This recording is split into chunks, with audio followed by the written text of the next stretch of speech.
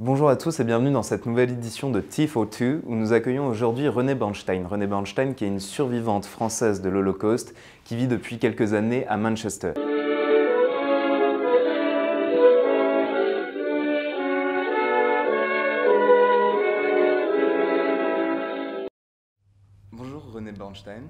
Bonjour Benjamin. Et merci beaucoup d'être ici aujourd'hui avec nous. C'est un honneur de vous accueillir à la résidence de l'ambassadeur de France à Londres pour euh, partager un thé avec vous et essayer de découvrir votre histoire.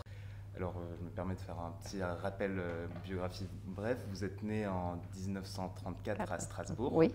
Vous, votre famille, avec votre sœur, votre frère, votre famille juive, est expulsée de l'Alsace-Lorraine vers la région du Limousin. Est-ce que vous pouvez me dire comment est-ce qu'en tant qu'enfant vous voyez le début du conflit avec vos yeux d'enfant? Est-ce que vous comprenez ce qui se passe? On a compris parce qu'on était, on a été, nous étions élevés dans un, j'étais élevée dans un home confortable et tout d'un coup, mon père était parti. C'était là, on était la détresse aussi de voir papa partir. Il était incorporé dans l'armée, à l'armée, dans l'armée.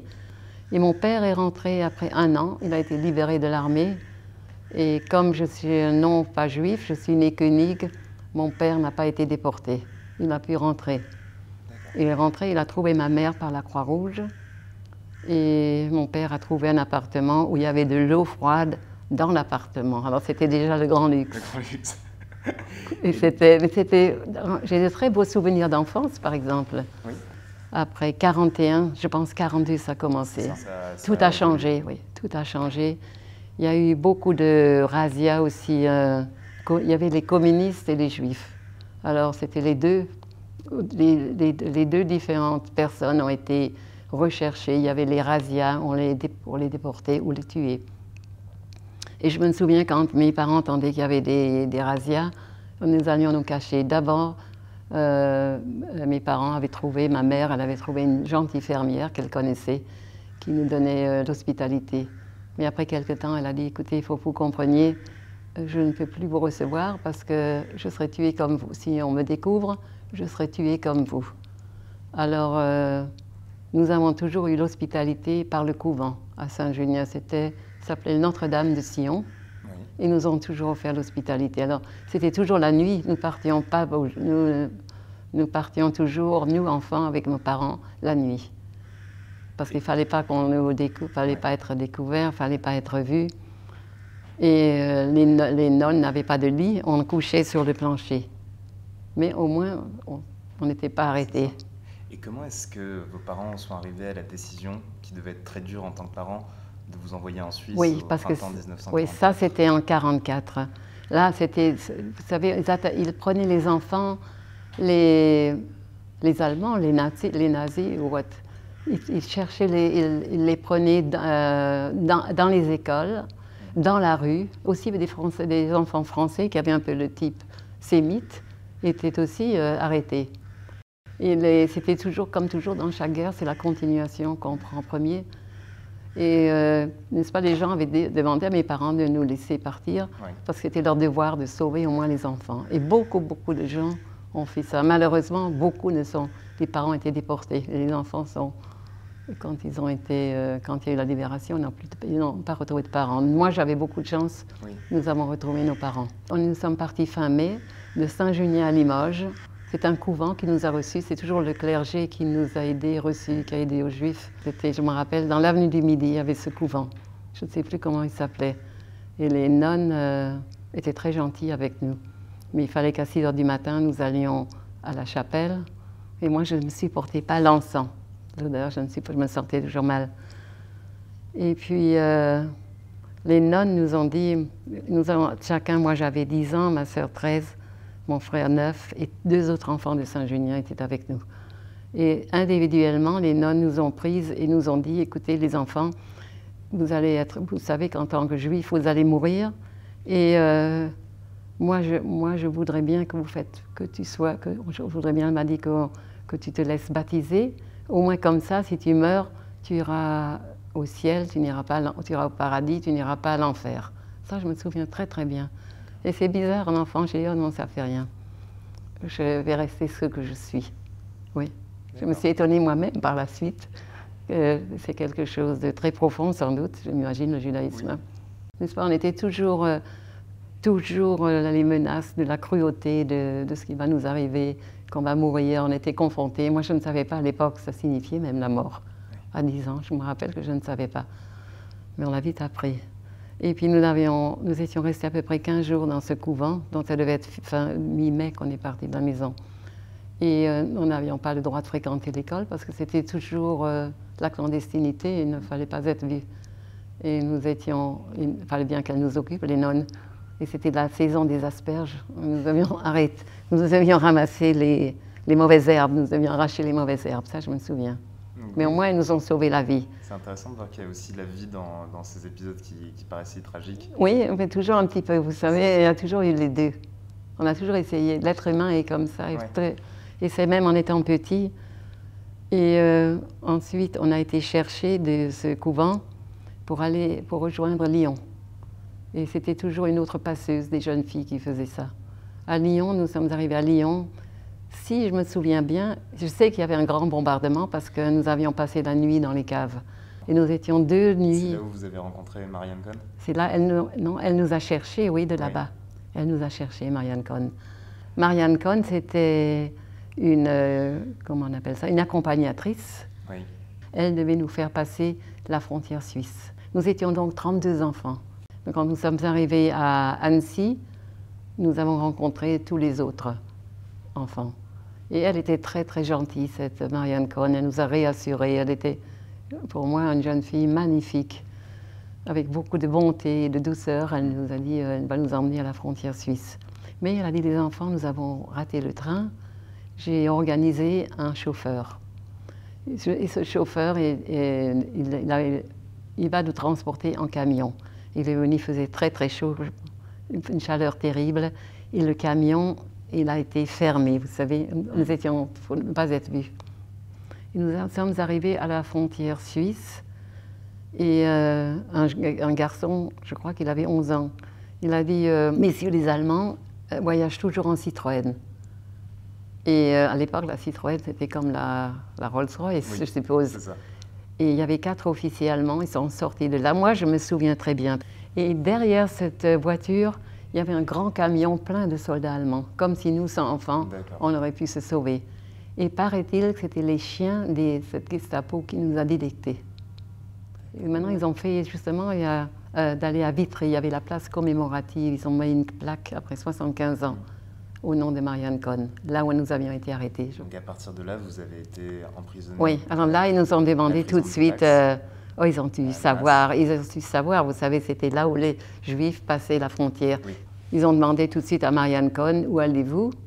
Elle leur a dit écoutez, ces enfants viennent de Lyon. Ils ont juste subi des bombardements. Et euh, je les mets dans une colonie de vacances, au pas de l'échelle. Et nous sommes, puis ils nous ont déjà commencé à questionner. Chaque nom, vous êtes juif. Nous sommes arrivés au pas de l'échelle, on a été questionnés individuellement. indi- oui. Et chaque, après chaque, quel est votre nom? Est-ce que tu es juif? Où habitent tes parents? Et Marianne Cohn nous avait dit de ne pas donner l'adresse des parents. Nous sommes arrivés au pas de l'échelle et la directrice du pas de l'échelle, cette colonie de vacances, elle sort. Je me rappelle encore comme de quoi elle avait l'air, cette femme, pour mes yeux d'enfant, une femme corpulente. Elle arrive et puis elle dit tout de suite Non, ce ne sont pas des enfants. J'a- J'attends seulement des garçons. Et j'ai appris par la suite que c'était une collaboratrice. D'accord. Alors elle a tout de suite dit que ce n'était pas ses enfants. Ils ont remarqué immédiatement qu'on était juifs. Et les, les grands, ils ont été transférés immédiatement à la prison du Pax. Et nous, on a passé, je crois, nous, on a été, à 4 heures du matin, on a été transférés, si je ne me trompe pas, à la prison du Pax.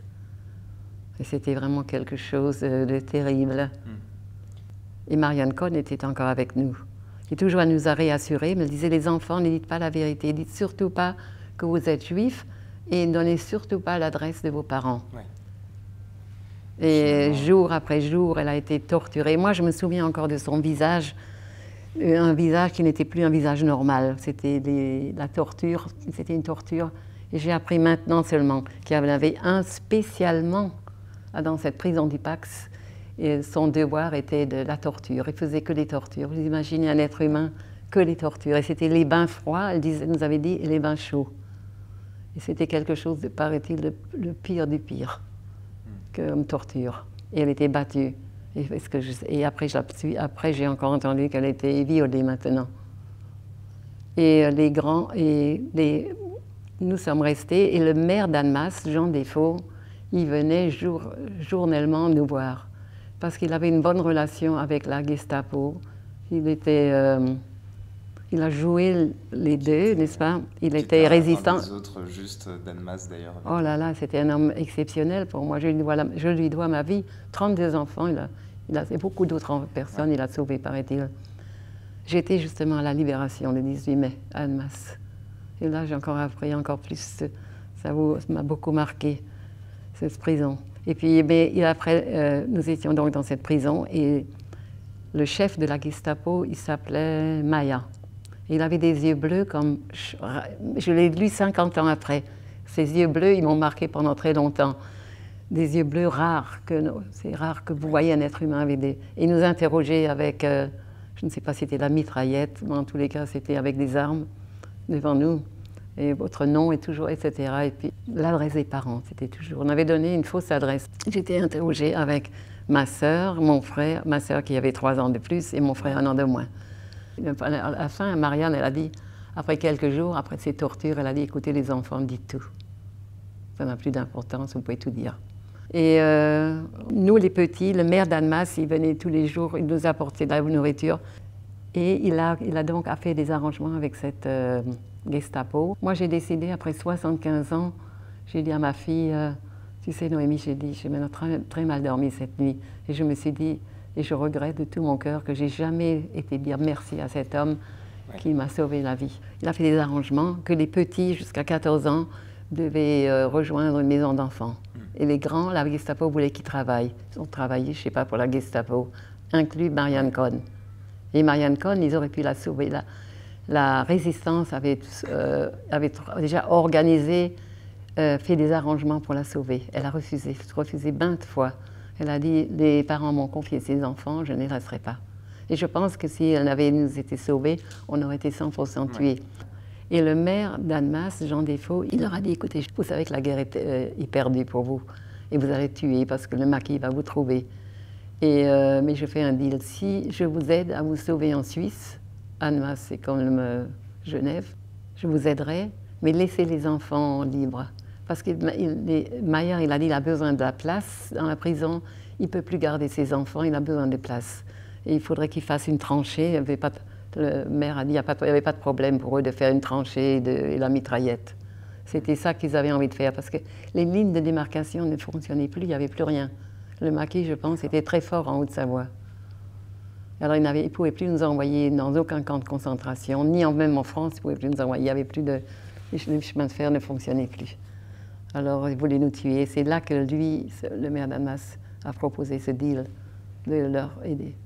À quel point est-ce que finalement euh, l'histoire qui vous est arrivée à vous et à votre mari pendant, la Seconde Guerre mondiale à cause de la Shoah, est-ce que ça a marqué les générations actuelles qui n'ont pas connu la guerre? Moi je pense que oui. Pendant que j'étais mariée, mon mari et moi, nous n'avons jamais parlé, ni lui de ce... Il a, dit, il a toujours dit j'ai écrit un livre, tout est dedans. Il n'a jamais, on a parlé de de ce qui nous est arrivé pendant la guerre. Jamais, on avait une vie normale. C'est ce que les gens voulaient. Mais il dit dans son livre, euh, les anciens des déportés, nous actons euh, dans la vie de tous les jours, euh, nous actons normalement, mais, dans, mais au fond, nous sommes, comment on dit, brisés. Il avait ça, il me disait, il avait plusieurs fois par an, je ne sais pas combien de fois, pour moi c'était cinq ou six fois, il m'a dit cette nuit j'étais au camp de concentration.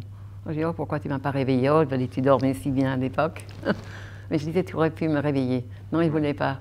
Qu'est-ce que c'est le meilleur moyen pour que les jeunes générations découvrent ce parcours? Est-ce que c'est les, musées? Est-ce que c'est les livres? Est-ce que c'est les, films? Je ne sais pas, est-ce que vous avez une... C'est de, vraiment d'être...